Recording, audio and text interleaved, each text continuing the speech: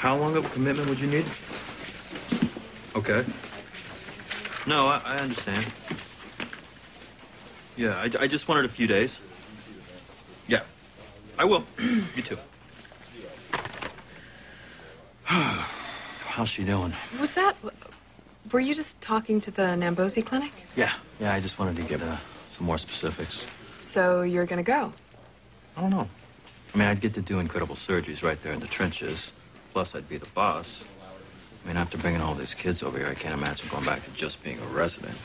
Being chief resident could be cool. I mean, that would be a reason to stay, but, I mean, who knows? I mean, if I don't get it, where does that leave me? I'm left here with nothing. What do you think? Stay or go?